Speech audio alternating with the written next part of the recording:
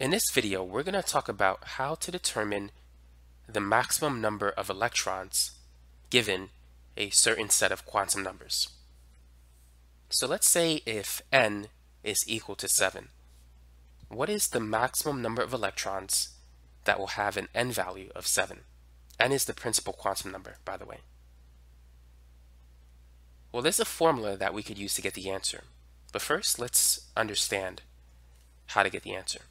When n is 1, there's only one possible orbital that we can have, and it's the 1s orbital.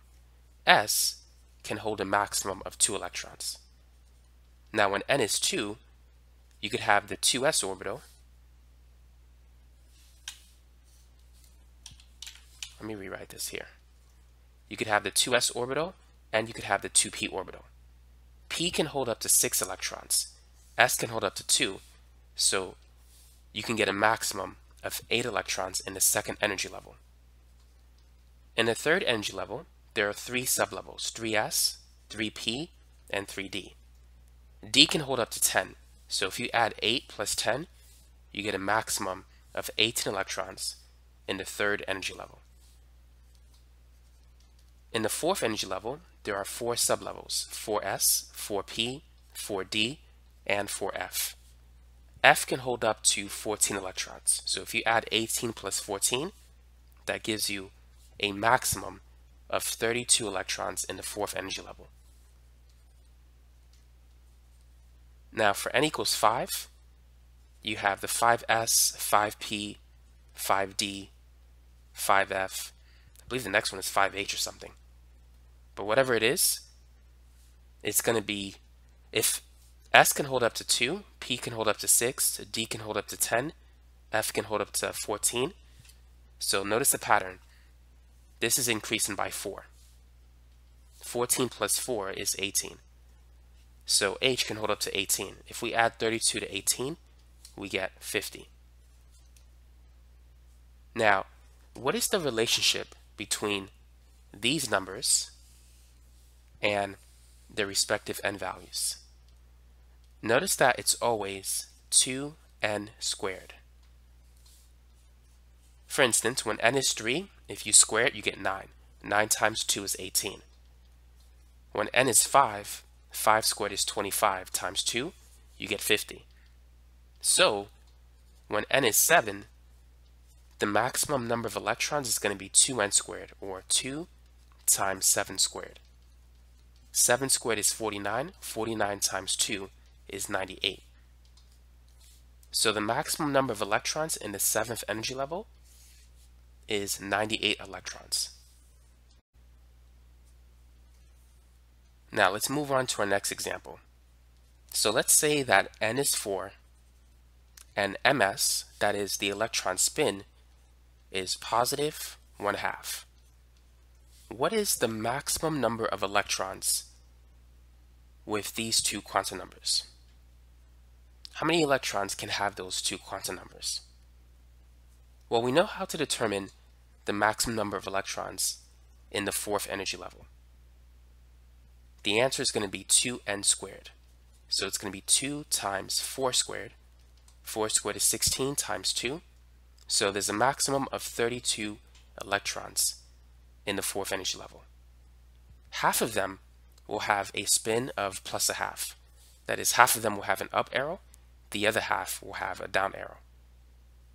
So the answer is going to be half of 32 electrons. It's going to be 16 electrons. Now for those of you who want to see the answer visually, here's what you can do. So the fourth energy level has four sublevels. It has the S sublevel, it has the P sublevel. By the way, the P sublevel has three orbitals. It has the d sublevel, which has five orbitals, and also the f sublevel, which has seven orbitals. Each orbital can hold a maximum of two electrons. So in each orbital, there's going to be an up arrow and a down arrow.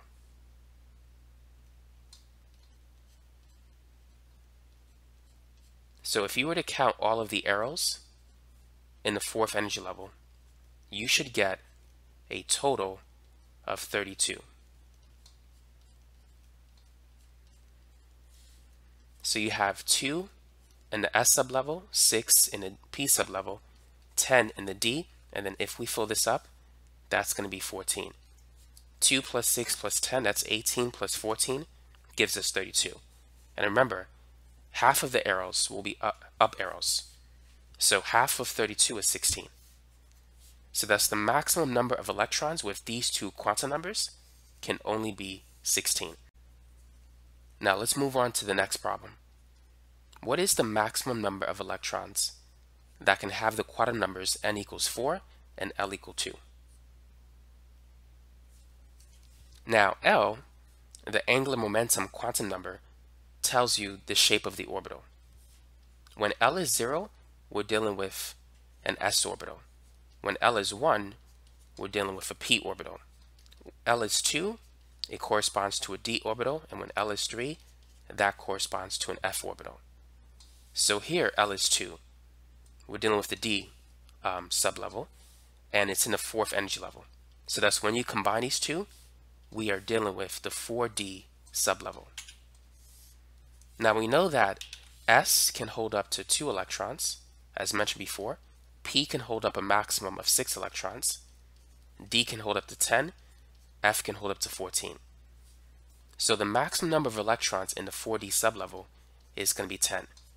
Keep in mind the D sublevel has 5 orbitals, and each of these orbitals can hold up to 10 electrons. I mean, each orbital holds up to 2 electrons, but 5 orbitals combined can give you a maximum of 10 electrons. So there's only 10 electrons that can have these two quantum numbers. So that's the answer for that problem. Now, what if we have N and ML, the magnetic quantum number? What is the maximum number of electrons that can have those two quantum numbers? In the fourth energy level, we know that there are four sublevels. S, P, D, and F.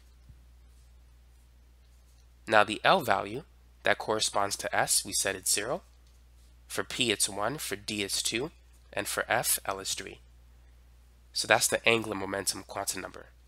Now let's move on to the magnetic quantum number. ML is between a negative L and L.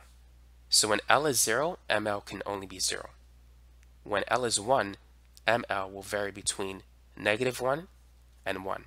So it could be three things. When L is 2, ML can vary between negative 2 and 2. And when ML is 3, it can vary between negative 3 and 3. So we want to determine how many electrons can have an N value of 4 and an ML value of 1. So here, the ML value is 1. Now recall that S corresponds to one orbital. P can have three orbitals, or rather it has three orbitals. D has five orbitals. Notice that ML corresponds to the orbitals in each sublevel. And we know that each orbital can hold up to three electrons. So this represents one orbital, which holds up to two electrons. This represents another orbital, which holds two electrons. And this represents one orbital in the F sublevel, which holds two electrons. So because we have three orbitals circled, that corresponds to a total of six electrons. So that's the answer for this problem. That is the maximum number of electrons that can have these two quantum numbers. So far, we've considered examples where we had two quantum numbers. But what if we have three quantum numbers? Let's say n is 4, l is 3, and ml, the magnetic quantum number, let's say that's uh, negative 1. What is the maximum number of electrons with these three quantum numbers? Well, we know that when L is 3, it corresponds to the F sublevel. So the fact that N is 4 and L is 3, we're dealing with the the 4f sublevel. F has 7 orbitals. And we know that when L is 3, ML will vary between negative 3 and 3. So each orbital has a specific magnetic quantum number. It has a specific ML value. Now, ML is negative 1, so we're focused on this particular orbital. And that orbital can hold up of, it can hold a maximum of two electrons. So therefore, there are only two electrons that can have these three quantum numbers. So that's the maximum number of electrons that can have those quantum numbers. It's two electrons. So that's it for that problem.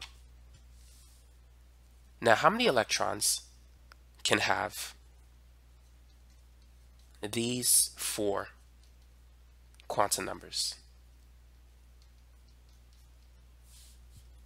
The answer is 1. It's always going to be 1. A set of four quantum numbers can only specify one electron. Each electron has, they all have their unique set of four quantum numbers. So anytime you're given four quantum numbers, if those quantum numbers are allowed, it can only represent one electron. So let's go back to three quantum numbers. Let's say if n is 3, L is 1, and the electron spin is plus a half. How many electrons can have these three quantum numbers? When n is 3 and L is 1, what type of sublevel do we have? When L is 1, it's the p sublevel. So we're dealing with the 3p sublevel. And p has three orbitals. So there's six electrons at most in the 3p sublevel. Now, how many of them have a spin of positive one half? Well, these are only the up arrows. So there's only three electrons that contain these three quantum numbers. Now let's work on one more example. Let's say that n is 4, ml is 1, and the electron spin is negative a half. What is the maximum number of electrons that have these three quantum numbers? Well, we know that when n is 4, there's going to be four sublevels, 4s, 4p, 4d, and 4f. And then we know that L is always 0 for S, it's 1 for P, 2 for D, 3 for F. Now let's focus on the ML values. S has only one orbital, P has three orbitals, D has five orbitals, and F, F has seven orbitals.